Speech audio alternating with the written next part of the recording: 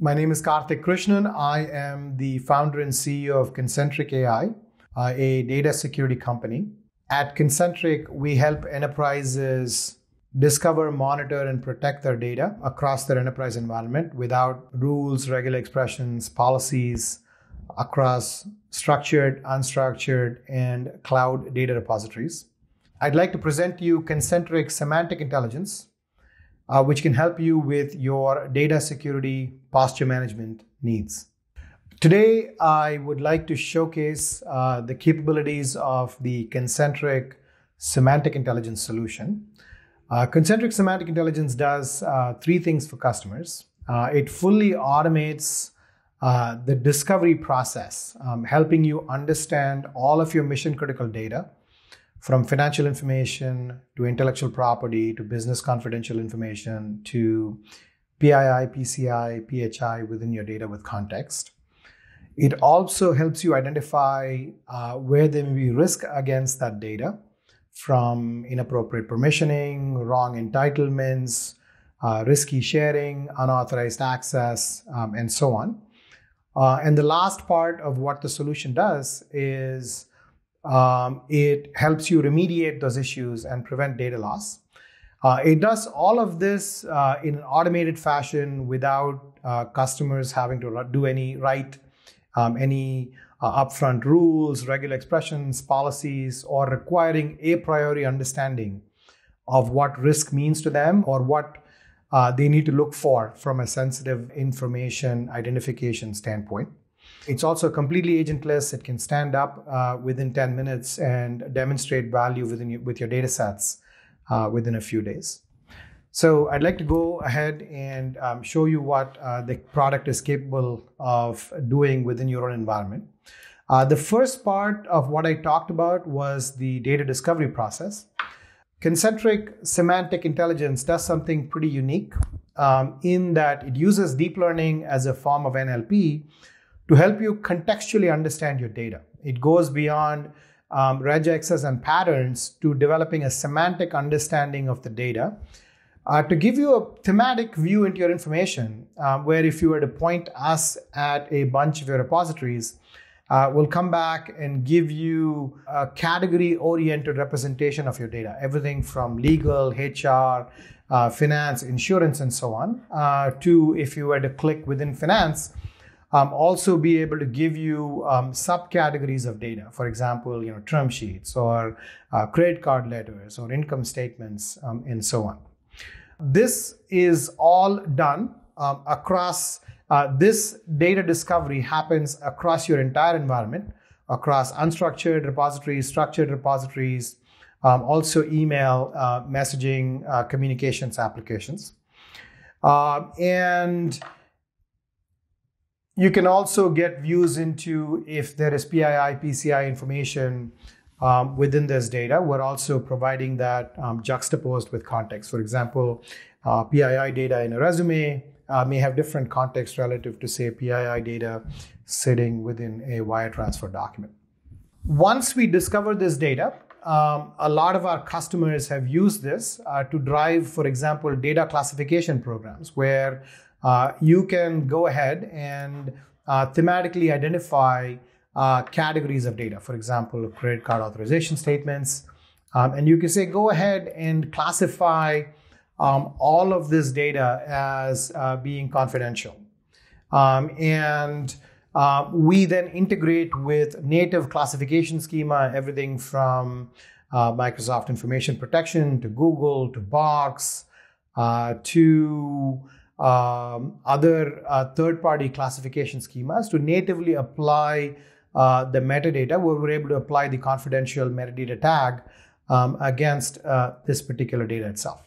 So uh, there are customers, you know, we have uh, credit unions and hedge funds today who have successfully deployed data classification to tag uh, mission critical sensitive data um, and, and label it accordingly uh, without having to do a lot of rule writing up front, without having to rely uh, on your end users to have to go in um, and self identify the data and so on.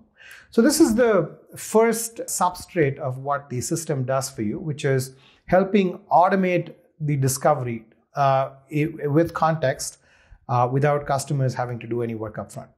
Uh, the deep learning and the NLP um, allows you to um, understand this data and categorize it with extremely high accuracy uh, because you're going beyond um, regexes and patterns, which often lack the context necessary to understand true meaning, to actually developing a semantic understanding of the data and giving you a pretty highly accurate view into where all of your uh, mission critical data might be.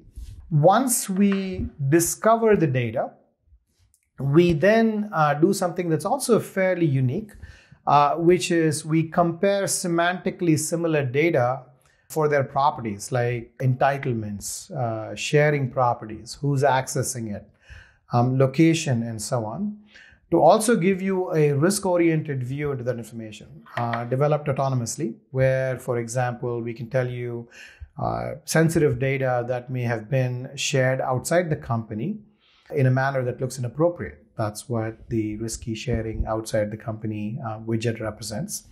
Um, or, for example, at a tech company where we're helping them identify intellectual property, either design documents, uh, source code, etc., that employees have shared with their own personal email.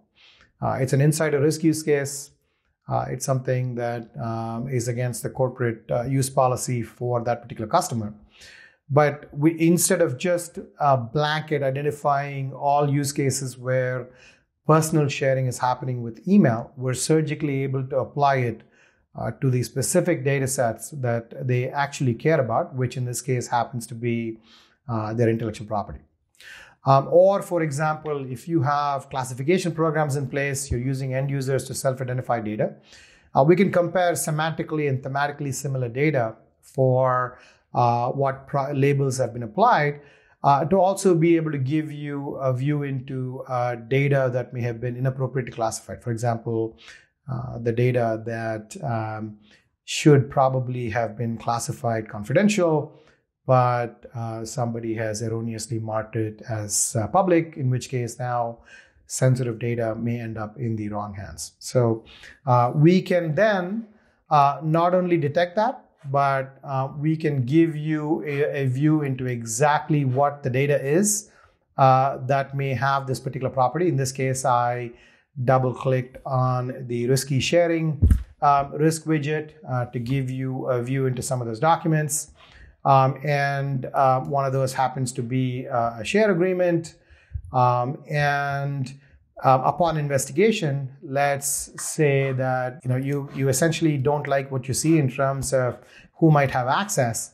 You can actually go in and um, surgically apply policy where you can go ahead um, and define a permission where you can say uh, make sure that um, documents of this particular type, for example, uh, finance documents or um, legal documents that potentially may have a certain property, like may have certain PII um, in it, um, you want to make sure that regardless of where it may be within your environment, you want to make sure that um, either all external users don't have access to it or um, only certain classes of, of users and groups have actually access to it. And it could be a permit policy, it could be a deny policy. Uh, and if you were to go ahead and create this particular policy, we will go ahead and continuously monitor your environment to make sure that data of this particular type uh, can only be shared with the right sets of people.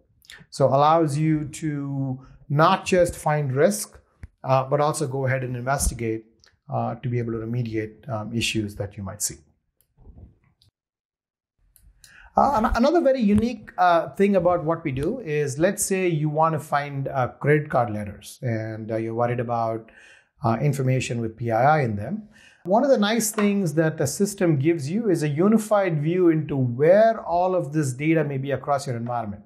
Um, across your on-premises data repositories, in this case, you know, Fremont happens to be a local file system, could be on um, your cloud SharePoint, could also be with through email uh, could be, for example, Exchange. And uh, we give you concentric semantic intelligence remains the only solution that actually um, allows you to get uh, views around um, access and risk, uh, not just across structured and unstructured, but also um, environments like uh, email and messaging applications.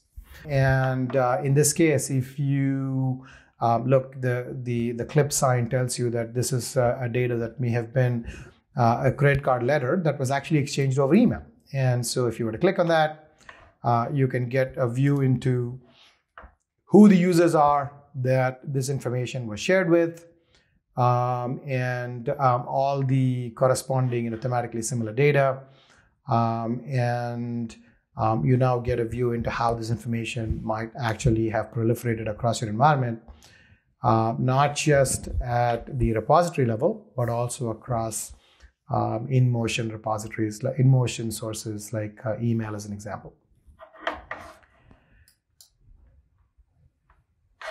And um, on any one of these risk widgets, let's say we're helping you um, identify um, intellectual property that employees have shared with their own personal email. Um, if you were to click on this, um, you can get a view into the specific um, subcategories within which we saw the information, but also you can get information around the specific uh, document or, or data type itself. For example, you know, here's an option grant document that an employee shared with their own personal email.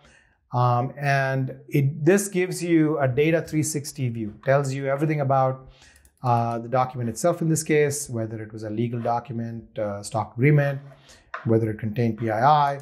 Um, and also it tells you all the internal, external users that uh, this information was actually is accessible by, um, as well as um, you know who it's uh, who it's been um, shared with, you know who the users are that potentially shared this with their own personal email, as an example. Uh, and if there is any PII um, or PCI or address type information that is within that document, uh, that's also presented to you with with this sort of a 360 degree view. The other thing that uh, the system also allows you to do is um, it basically allows you to get activity level analytics. So it doesn't just tell you um, context around the data, but it also can tell you, for example, if you click on a user, uh, you can get what he or she might have done over a prior uh, period that um, you can flexibly define. For example, you can tell in this case, uh, this particular user uh, you can tell what he or she viewed, uh, what they uploaded, um, what they downloaded, visited, etc., modified, etc. But not just at a raw list, uh, but also at a thematic level. You know, how many of this was sales data, HR data, legal data, and so on. Uh, this is something that a lot of our enterprises have found very useful uh, for employee offboarding use cases. Let's say an employee is leaving the company. Um, often there end up being investigations around what, what that said employee might have done in the prior 30, 60 days. Uh, but not just a, a, composite list of activity, but around data sets that you may care about. Um, did they take um, some intellectual property with them? Did they take some sensitive financial data with them? And uh, by having a pretty rich understanding of the data itself, the system is able to uh, give you a window into exactly what the that particular employee might have done um, at a category, subcategory level. So you can actually drill down upon the specific sets of data that you really, really care about um, and get a view into what uh, they might have done uh, to support your um, data incident investigation use cases. The overarching theme here is the system works uh, completely in an autonomous fashion. So uh, the system require it requires us uh, 10 minutes uh, to deploy and stand up um, either for a proof of value or for an actual production deployment. Uh, it connects back into your repositories uh, in an agentless manner through APIs. Uh, within a few days, uh, we can actually uh, scan and give you a pretty representative view into your data. So you can actually see uh, the AI, the deep learning work within your environment to give you a view that looks exactly like this. In fact, this view was created without um, any upfront work at all. So the system is able to discover your data, it's able to give you a risk oriented dashboard um, supporting your data incident investigations. Um, so you can actually then uh, go ahead and remediate uh, specific things um, that you care about. The solution also has a policy exchange marketplace where, as customers are defining risk widgets um, around um, risk that applies to them at various dimensions. Could be about sharing, could be about entitlements, could be about permissions, could be about location. Um, the on a on a publish and subscribe model, uh, they can actually consume what risk widgets are getting defined by other customers, um, where uh, it gets represented in, a, in an anonymous fashion, where uh, if they choose to publish, they can actually choose to subscribe as well. So, where, for example, uh, if you were a financial services uh, security ex- uh, security exec, you could, um, in an anonymous fashion, uh, get views and insights into what other financial security professionals are doing um, around defining risk within their own environment. Uh, so you can actually take a lot of those widgets, um, like you're seeing here, could be uh, risk widgets, uh, could be policy widgets, uh, could be you know all the active widgets. You can actually go ahead and uh, add them to your dashboard. To where if you are concerned about you know where you want to start, you can use this as a springboard uh, to define specific um, risk widgets on, on dimensions of policy that you care about uh, and get bootstrapped or, or, get sort of kickstarted um, that way. Hopefully, uh, that gives you a view into what uh, concentric uh, semantic intelligence can do for you. Uh, please contact us if you need more information. www.concentric.ai you know, please go ahead and book a demo uh, or contact sales at concentric.ai for more information. And uh, we'd be happy to come in, talk to you, learn about your specific data security needs, and uh, see if we can be of help. Uh, thank you very much.